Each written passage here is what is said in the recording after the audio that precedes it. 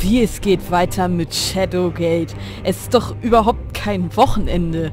Und wenn jetzt nicht Freitag ist, dann bin ich darauf jetzt überhaupt nicht als Zuschauer eingestellt, dass die Alexis da jetzt Shadowgate weiterspielt. Das geht ja gar nicht. Doch, das geht.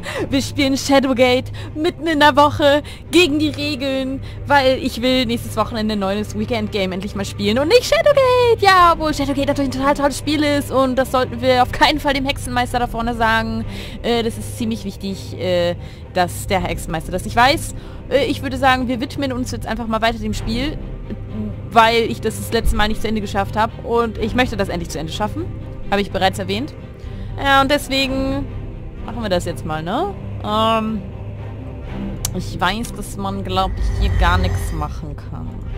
Wenn ich mich nicht täusche, dann haben wir überhaupt keinen so langen Weg mehr vor uns. Und deswegen gehen wir mal jetzt. Ah, meine Katze darf aber keinen Scheiß machen, ne? Oh, möchte ich hier hin? Was war denn hier? Ach so, ja, ja, ja, ja. Ja. Lilly, du machst keinen Unsinn. Du legst dich hin. Ich töte dich sonst. Okay, sie legt sich hin. Sehr schön. Manchmal muss man Tacheles reden mit Tieren. Auch mit Tieren. So. Warum bin ich jetzt hier wieder? Bin ich dann nicht wieder bei ihm? Na, wo bin ich jetzt wieder? Bei ihm? Ne, ich bin richtig. Ja, hier wollte ich hin. Ja, ähm, ich glaube, dass man hier bei dem Schädel irgendwas zaubern kann. Äh, und das können wir bestimmt auch lesen. Ich würde sagen, wir gucken jetzt einfach nochmal ganz in Ruhe gemütlich in diese äußerst wichtigen Schriftrollendokumente. Und irgendwie lässt sich bestimmt daraus doch wohl ableiten, was man zu tun hat. Und ich meine, in einem Let's Play gesehen zu haben, das letzte Mal äh, vor Tagen, dass äh, da jemand einen Zauber benutzt hat beim Schädel. Jetzt weiß ich aber nicht was und wie und warum. Die Boxen habe ich ausgemacht, sehr schön. Und es ist ja ein Doppelton, ne? Und Deswegen gucken wir jetzt mal in die Schriftrollen. Ich muss noch mal gucken, was wir haben. Oder hat er hier das Horn benutzt? Ich weiß es nicht. Ich kann ja mal das, den Stern. Den packe ich jetzt mal einfach hier rein. So, den packe ich da mal rein. Und jetzt lesen wir noch mal. Wir lesen. Das erste Dokument. Was, was stand hier eigentlich auf dem ersten? Die heißt hier elementare Zukunft, bla. Ich habe deinen Hund. Äh, Marcy Halloween. Nein, Schriftrolle 3. Äh, Priorität. Wir müssen koordinieren. Äh, Kanalisation. Katastrophe abwenden. Lackmir. Gruß Lackmir. Eine Zeichnung mit sechs rechteckigen Formen befindet sich auf dem Pergament. Mehrere Linien führen zu diesen Formen und sind beschriftet. Du liest zwei dieser Aufzeichnungen. Dieser Spiegel führt in den Feuerraum und in die Burg dahinter. Und diese Spiegel brauchen magische Energie, um aktiviert zu werden. Äh, da geht es um die Spiegel. Die Handschrift wenn Marjals Schweif den nördlichen Himmel erleuchtet und die Anordnungen in Harmonie sind, dann wirst du die Rune des Wassers, des Feuers und des allsehenden Auges nehmen und sie zum großen Adel legen, der mit einem Baum. Das habe ich schon. Dann haben wir den das Zepter bekommen. Ne? So. Weiter. Die Gefahr ist real, warnt die umliegenden Ländereien. Wachssiegel zeigt einen Adler im Flug und ist von jemandem mit Namen Fendril unterzeichnet. Auch das hilft mir nicht. Wenn du diese Zeilen liest. Äh, dunklen Künste, beschützt das Siegel um ihren Preis, er darf sie nicht bekommen, versorge ihn mit magischer Energie und benutze den Weg der Spiegel, um zu einem Wachturm zu verleihen, mit Unterhand, vielleicht kann unser Wetter am meisten beforscht des Bösen einer geblieben. Da ging es wahrscheinlich um den Windelementar oder so. Fünf zu finden. Drei sind eins. Ah, drei sind eins. Siehste? Daraus kann man erlesen, dass das Zepter äh, drei Dinge. Einer gibt Zugang zum Sonnenstern. Also wahrscheinlich nur ein Finger. Die silberne Kugel, das untere zu bannen. Den Stab der Zeitalter, den Feind zu besiegen. Zwei vereint. Der goldene Dorn, der letzte Ruf, das Horn. Aus Platin. Das ist wichtig. Ich muss mal... Was ist denn los hier? Mein Kabel ist hier sonst wo. So. Mein Kabel. Ich muss mal ein bisschen leiser machen. fünf zu finden. Drei sind eins. Ich weiß jetzt gar nicht, ob wir alle fünf Dinge schon gefunden haben. Drei sind eins, haben wir schon gemacht. Einer gibt Zugang zum Sonnenstern. Also der Finger nehme ich an. Da packen wir den Sonnenstern. Da müssen wir noch aussuchen, welcher es ist. Die silberne Kugel, das untere zu bannen. Den Stab der Zeitalter, den Feind zu besiegen. Dann benutzen wir den Stab. Zwei vereint, der goldene Dorn. Na, nü, jetzt muss ich aber mal überlegen. Die silberne Kugel, das untere zu bannen. Ich glaube, wir müssen... Aber da ist die Seele ja jetzt schon drinne. Jetzt bin ich verwirrt. Die silberne Kugel, das untere zu bannen. Haben wir denn noch irgendwas, was geht? Zwei vereint, der goldene Dorn. Und den Dorn, den haben wir ja schon drinne. Wir haben das doch schon verbunden. Wir haben doch sonst nichts mehr, oder? Ich verwirrt? Die silberne Kugel, das untere zu bannen, den Stab der Zeit, den Feind zu besiegen. Zwei vereint, der goldene Dorn, der letzte Ruf, das Horn ist Platin. Der letzte Ruf, das Horn ist Platin. Das Horn, das Horn. Du legst das Instrument an deine Lippen und bläst. Eine einzelne unharmonische Note halt durch den Raum. Vielleicht ist es ja noch nicht richtig gewesen.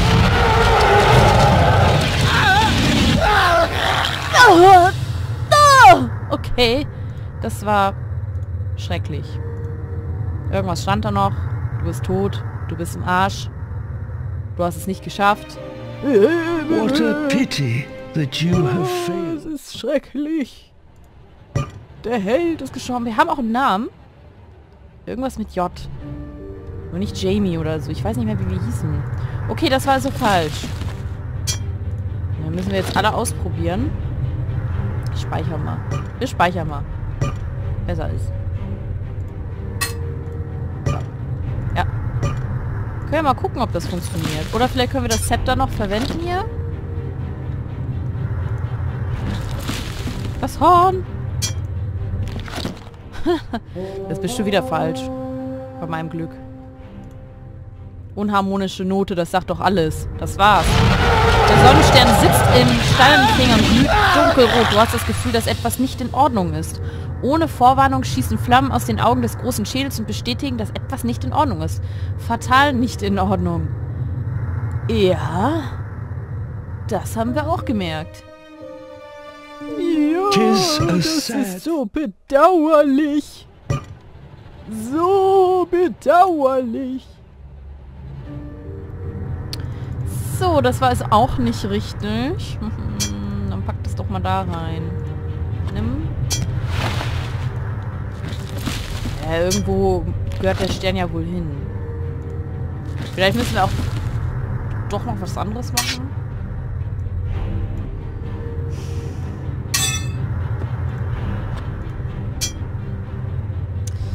Das muss was zu bedeuten haben. Die silberne Kugel das untere zu bannen. Den Stab der Zeitalter, den Feind zu besiegen. Vielleicht doch erstmal den Zepter hier Bam. Bam. Jorik? Der Sonnenstern ist an seinem Platz und wir sind beinahe fertig. Ein Auftritt wie dieser braucht eine Fanfare. Benutze das Platinumhorn. Ach so. Ja, aber ist es denn jetzt das Richtige? Wir haben, also das haben wir jetzt noch nicht ausprobiert. Ja. Und wenn wir nochmal sterben, ne? Oh.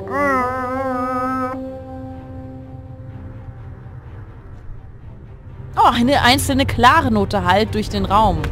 Der Sonnenstern antwortet dem Ruf des Horns und glüht mit magischer Energie. Langsam öffnet sich der Mund des großen Schädels und ein Eingang wird sichtbar. Ja, endlich werden wir den Hexenmeister besiegen werden. Können wir den Stern jetzt wieder mitnehmen? Ohne viel Aufwand kommt der Sonnenstern auf dem Sternfinger. Wir haben keine Zeit zu verschwenden, Junge. Es wird Zeit, den Scheiß hier zu beenden. Dann gehen wir da mal rein. Die riesige Kammer zittert, als du sie betrittst und du fällst fast auf die Knie. Eine ehrfurchtgebietende Kreatur, erfüllt von immenser Macht, schwebt über der Grube. Adern aus reiner Energie fließen aus der Grube und verschwinden durch die Grube, Grube und die Felswände hinaus in die Welt.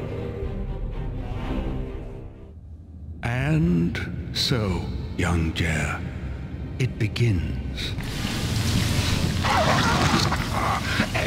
Past. Like a fool to folly, I led you thus. You brought me to that which I could not easily bring myself. Behold, the behemoth. He who has been here since the foundations of the world were laid.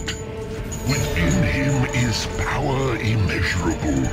Power that even the circle could not foresee.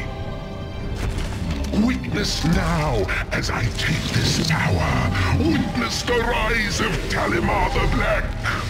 Gib ihm.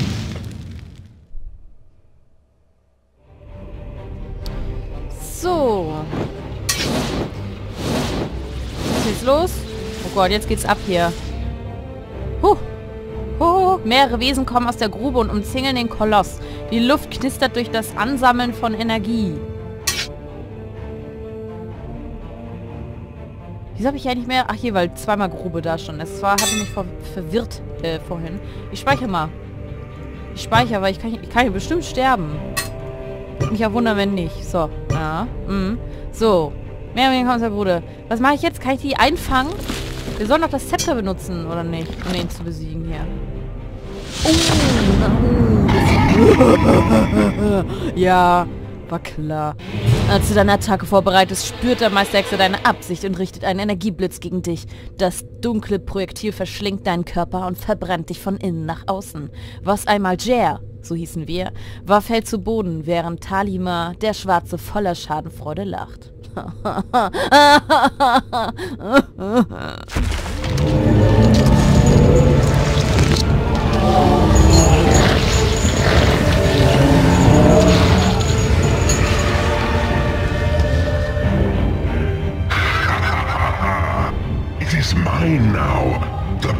is mine to command.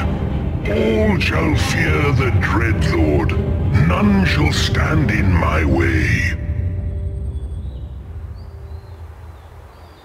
Wir gucken uns mal das schlechte Ende an. Dann schauen wir uns gleich das gute Ende an.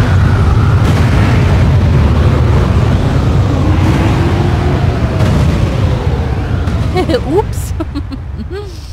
oh, wir haben gegen den Hexenmeister verloren. Oh, what a pity.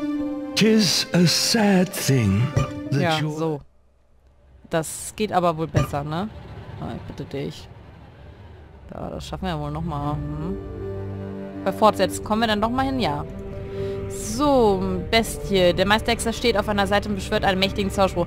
Vielleicht können wir noch mal... Ja, wir gucken noch mal hier in unser Archiv, bitte. Ich will das noch mal lesen hier. So, die silberne Kuh, das zu den zwei vereint das goldene, den, der goldene Dorn.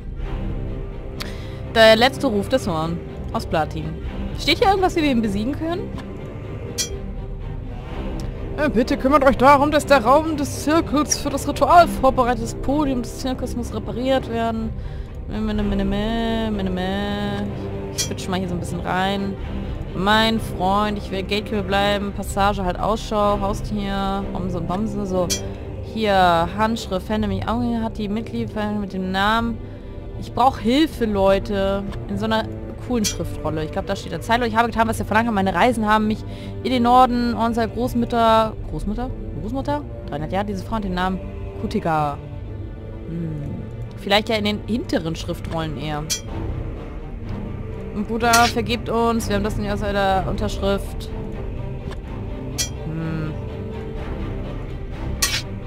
Die mit ihrem Haustier hier. Und hier kommt das mit der klapprigen Brücke. Das hilft uns doch nicht. Nein, das hilft uns nicht. Wir brauchen jetzt Power.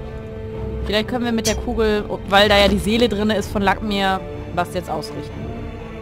Du benutzt den Stab der Zeitalter zum Moment der Essenz von Lackmir fließt eine uralte Macht aus deinem Körper durch den Stab und erzeugt einen Strauß reiner Energie. Ja, Mann. Ja, Mann. Genau das wollten wir. Ja. Uh. Jetzt bist du dran, Hexenmeister. No! What have you done, fool? the beast must be destroyed. You have brought desolation upon us. You have brought us to ruin. Ja.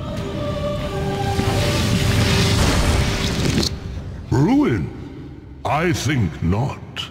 You have done well, grandson. For the behemoth is neither good nor evil, but simply one who holds fast the fates of this world. Life, death, war, peace, sorrow, joy. These he disperses from the pit in careful measure. He has guarded these fates, and I, in turn, have guarded his power. Until now. Ja. This power I pass unto Aua. you, and bestow upon your brow a new name. Lord Jer of the Westland. Fürst Jer von Forsake Westland. it not, and wield it well. For in you, the circle shall live on. Ja, Mann. Fürst Jer. Wir haben es geschafft. Wir haben die Burg Shadowgate bezwungen. Und das war's mit einer Metal-Musik, zu der ich jetzt nicht abrocken werde. Das ist verwirrend. ja, wir haben es geschafft. Jetzt muss ich mal leise auf meinem Ohr drehen und wahrscheinlich bei euch mal ein bisschen näher rankommen und laut sprechen, weil sonst versteht ihr mich nicht mehr. Ähm, ja, das war's mit Shadowgate, Leute. Ich freue mich, dass wir es geschafft haben. Äh, wir sind jetzt First Chair von Westland und äh, ich habe keine Ahnung, wie man noch die weiteren 10.000 äh, Steam-Errungenschaften bekommen kann. Wahrscheinlich müsste man das Spiel mehrere Male noch durchspielen in verschiedenen Schwierigkeitsgraden. Denn, wie ich im Nachhinein rausgefunden habe, haben sich dadurch die ähm, äh, Versionen unterschieden. Das wusste ich ja vorher nicht. Und von daher gibt es da noch einige Bereiche mehr und einige andere Sachen mehr, die man noch entdecken kann. Ich bin froh, dass wir Shadowgate irgendwie geschafft haben. Es war viel schwieriger, als ich gedacht habe. Teilweise hätte ich vielleicht sogar noch mehr in die Schriftrollen gucken können, statt in Let's Plays oder so. Ähm, weil aus den Schriftrollen leitet sich auch viel ab. Wer kommt auf die Idee, diese Musik zu vermettlern? Okay. Es ist ja irgendwie ein Spiel von früher. Ich habe das nie gespielt. Ich kann mir aber trotzdem gut vorstellen, dass wenn man es von früher kennt, dass einen das total freut, das so in so einer etwas frischeren Wind äh, neuen Abmischung hier nochmal neu zu spielen, das Spiel. Das ist äh, Spiel, Spiel, nochmal Spiel gesagt. Ähm, ja, weil neue Auflagen sind einfach immer was Tolles. Aber ich kenne die alte Version nicht. Ist ja auch egal, wir sind jetzt Fürst. Yeah. Und mein Gott, gibt es hier viele Namen für die Ritter und für die Soldaten und ja. Es hat irgendwie auch, was weiß ich, was für Preise bekommen, das Spiel. Ich bin aber froh, dass wir die Rätsel halbwegs gut geschafft haben. Die waren, wie gesagt, nicht immer so einfach und offensichtlich.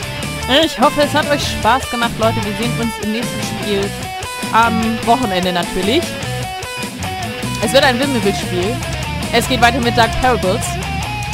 Und darauf könnt ihr euch auf jeden Fall schon mal freuen. Und weh, kommt nicht. Dann spiele ich nur noch Shadowgate. Von morgens bis abends in verschiedenen Schwierigkeitsstufen. Nein, Spaß. Natürlich nicht. Und ich bin ein bisschen aufgekratzt und wir sollten das ähm, jetzt beenden. Äh, ich wünsche euch noch viel Spaß hier. Muss ich jetzt noch so lange über die Metal-Musik hinwegreden? Wie der Text hier läuft? Oder darf ich einfach Schluss machen? Bestimmt viele da draußen, die es geil finden, die Musik, ne? Unsere verblüffenden Kickstarter-Geldgeber.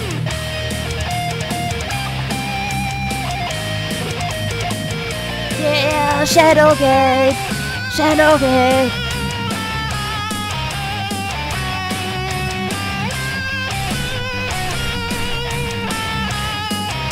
Yeah, Shadowgate. Okay. Ich verabschiede mich dann nochmals. Wir sehen uns, Leute, beim nächsten Wochenendspiel. Bis dann.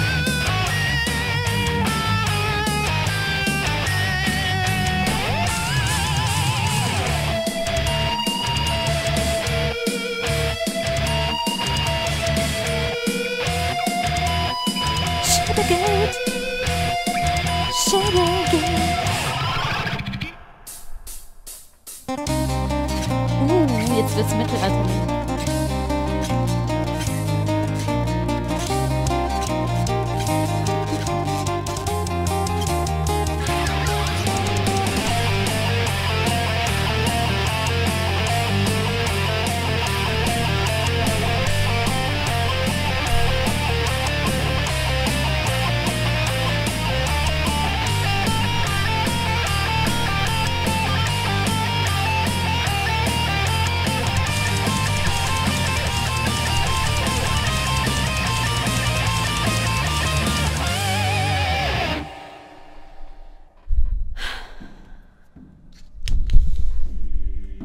For 40 years he has kommt noch was. reigned. Jer, Lord of the Westland, the seed of prophecy. He who defeated Talamar the Black and kept the fates of the world secure in the behemoth's grip. Or so he thought. For from within the pit, strife had escaped. Unchecked, it moved throughout the Westland and its bordering ally, Cal Torlin. And it was there it sowed discord and discontent. And the eons old lasting peace between the two nations? Not but a fool's dream. Within Cal Torlin's capital city of Gweninthel, the change is evident. The vast port city has slowly shuttered its doors. Its great docks no longer host to the tall sails of ships from faraway lands. Its bustling streets, once replete with merchants and wayfarers, now empty. Leer. Well, nearly so. E-E-R. Leer. For it is here we find a small fenling, moving in plain sight as they often do. Like Lord Jer, he goes by many names, albeit all of his own choosing. Although, if you were unfortunate enough to brush against him, you might give him another. Thief. And so, in a dark Gweninthel, the next tale begins. Not before a fabled door within the Gatekeeper Mountains, nor within the depths where prophecy was fulfilled and evil overcome, nor in a great hall where honors are given and received. Rather, it begins here in the capital city when a fenling is apprehended and delivered to the dungeons. The misunderstood pilferer, Del Cottonwood.